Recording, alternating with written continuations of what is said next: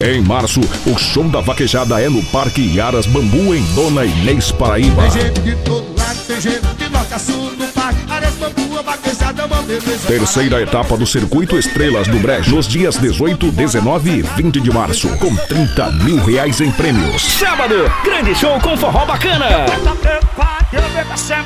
Forró Saudade e Pegada Sacana. No domingo, show da disputa final com DJ Marcos, o original das vaquejadas.